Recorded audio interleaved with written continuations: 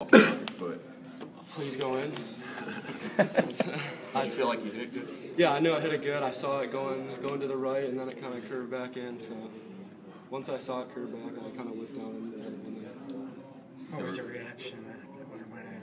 uh, I looked at all my teammates and go celebrate with them. Just I can't even describe the feeling. You at the bottom of the pile or what? Yeah, I, I fell down actually. I didn't mean to fall, and people just came on top of me. Do you remember who the first one to get to you was?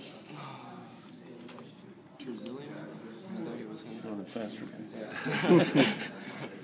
Can you talk just a little bit about your journey? I mean, this is a long ways away from where you were a year ago right now. Yeah, it's it's weird knowing that I was up in the student section last year cheering, saying that I could do this, and now I'm, I'm here in front of all these cameras. It's just it's a lot to take in. It's been a short period of time, and I've I guess I've just been kicking it on.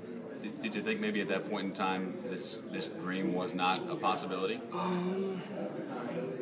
Not really. I kind of had in myself that one day I'd be kicking out there,